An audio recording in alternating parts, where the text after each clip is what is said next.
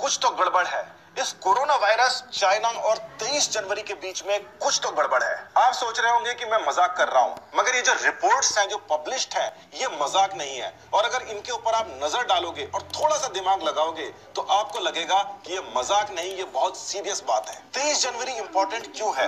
दो वजह से इंपॉर्टेंट है। पहली चीज़ तो यह है कि वुहान शहर को चाइना ने लॉकडाउन कर दिया था, बाकी पूरी की पूरी चाइना से। दूसरी ज़रूरी बात यह है कि 24 जनवरी से चाइना के अंदर छुट्टियाँ पड़ रही थी, जैसे हमारी दिवाली पर छुट्टियाँ पड़ती हैं। और इन छुट्टियों के बारे में कहा जाता है कि इस समय चाइनीज़ लोग 30 अरब यात्राएँ करते हैं। मतलब कि सारी की सारी यात्राओं को अगर मिला लिया जाए तो 30 अरब यात्राएँ हो जाती हैं। तो आप ये सोच रहे होंगे कि चाइना की गवर्नमेंट ने ठीक उसके पहले लॉकडाउन करके अच्छा किया। अगर आप ऐसा सोच रहे हो तो आपकी सोच को सलाम। क्योंकि ये चाइना की गवर्नमेंट का दिखावा भी हो सकता था दूसरों को बताने का कि देखिए, हमारे यहाँ तो संक्रमण फैल रहा है, हमने इसलिए लॉकडाउन किया है। मगर फिर भी हमने पूरे देश को नहीं किया, केवल हमने एक सिटी को किया है। बाकी जगह तो हमारे बिजनेसेस चालू रहेंगे, क्योंकि हमें तो अपनी अर्थव्यवस्था सुधारनी है। ठीक है, मान लेते हैं, मगर तेईस जनवरी को ही इटली के अंदर दो लोग जाते हैं जो पूरी की पूरी इटली के अंदर कोरोना वायरस फैला देते हैं। और इस प्रकार से फैला देते हैं कि इटली की हालत मरने वालों में सबसे ज़्यादा बुरी हो जाती है। ये एक संयोग हो सकता है, मैं इससे इनकार नहीं करता।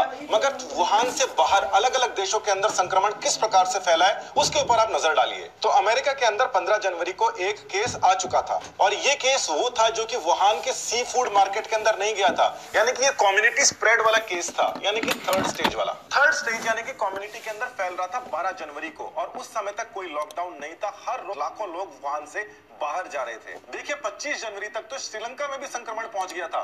श्रीलंका तक वुहान से डायरेक्ट फ़्लाइट नहीं है, यानी कि वुहान से कहीं और गया होगा और वहाँ से श्रीलंका आया होगा। अब जहाँ पर फ़्लाइट की बात आ गई है तो फ़्लाइट के मैप के ऊपर जरा नज़र डालते हैं। यहाँ पर एक बात आपको ध्यान में रखनी पड़ेगी कि वुहान से चाइना के अंदर कितनी फ्लाइट्स हैं और वुहान से चाइना के बाहर, यानी कि इंटरनेशनल कितनी फ्लाइट्स हैं। तो इस ग्राफ के अंदर आप देख सकते हैं कि वुहान से इंटरनेशनली कितनी सारी फ्लाइट्स हैं और इसके अंदर ही आपको यह भी दिखाई दे जाएगा कि अफ्रीका के अंदर किसी भी प्रकार की कोई फ़्लाइट नहीं है, जहाँ पर संक्रमण फैला भी नहीं है। साउथ अमेरिका के लिए भी कोई डायरेक्ट फ़्लाइट वुहान से नहीं है, जहाँ पर ब्राज़ील है, देखिए, और ब्राज़ील के अंदर भी इतना कोई खास संक्रमण का असर नहीं है। इंडिया, पाकिस्तान, नेपाल, भूटान, बांग्लादेश तक भी कोई डायरेक्ट फ़्लाइट नहीं है और यहाँ पर भी संक्रमण के बहुत ज़्यादा मरीज़ नहीं है। यानी कि वहाँ से जहाँ पर डायरेक्ट फ़्लाइट है, वहाँ पर हर जगह भर भर के संक्रमण जा रहा था और जहाँ पर फ्लाइट्स नहीं है, वहाँ पर संक्रमण नहीं जा रहा था। यानी कि ये बहुत तेज़ी से बढ़ने वाला वायरस था और अगर ये इतनी तेज़ी से बढ़ने वाला वायरस था, जो कि लॉकडाउन लगने से पंद्रह दिन पहले तक कम्युनिटी के अंदर आ गया था तो चाइना के अंदर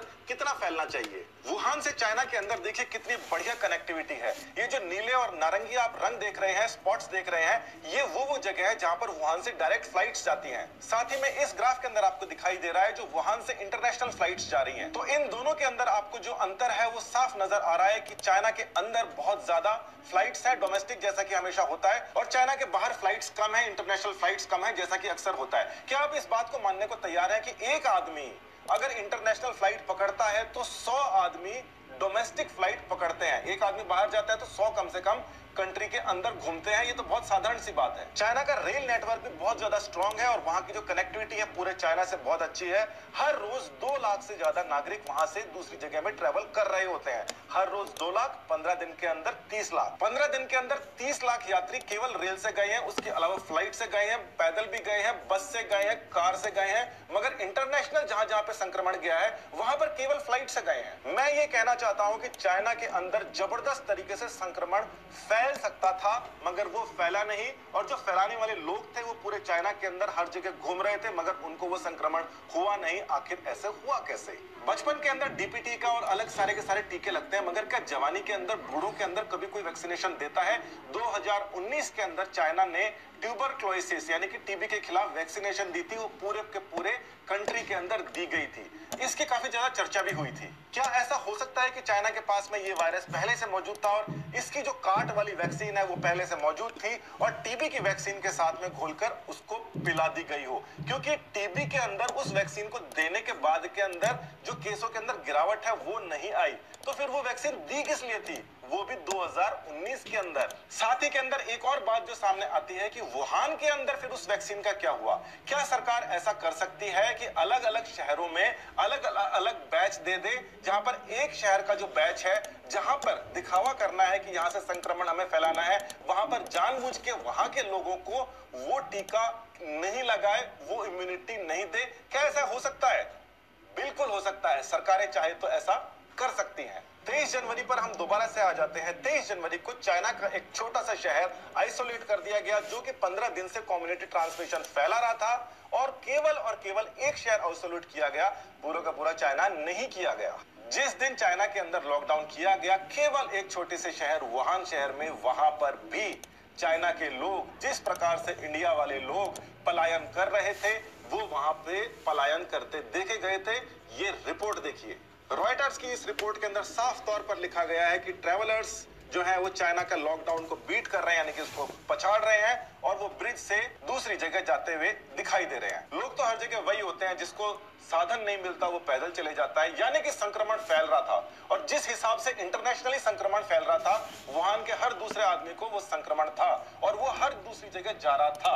और एक इंटरनेशनल फ़्लाइट पर सौ लोग डोमेस्टिकेटेड फ़्लाइट से जाते हैं, दस हज़ार लोग ट्रेन से जाते हैं और एक लाख लोग कुल मिला के अलग अलग रिसोर्सेज से इंक्लूडिंग ट्रेन एक जगह से दूसरी जगह जाते हैं। यानी कि इस बात की संभावना कि बहुत सारे इंटरनेशनली टूरिस्ट के अंदर से एक संक्रमित मरीज़ इंटरनेशनल फ़्लाइट पकड़ के ले जाए वो उतनी ही है जितनी एक लाख लोग विद इन कंट्री फैल जाएँ। इसका मतलब किसी भी प्रकार से संक्रमण तो बचाया ही नहीं जा सकता था, मगर एक चीज़ उनको बचा सकती थी, उनकी वैक्सीन इम्यूनिटी जो कि 2019 के अंदर ही बाकी सभी जगह दे दी गई हो। वुहान में नहीं दी गई हो। वुहान को इसलिए छोड़ दिया गया हो कि वहाँ पर हम किसी प्रकार से इसको फैलाएँगे अलग अलग जगह जाएगा, उनके पास में वैक्सीन होगी नहीं, और हम केवल एक छोटे से शहर को लॉकडाउन करके, दिखावा करके बच जाएँगे।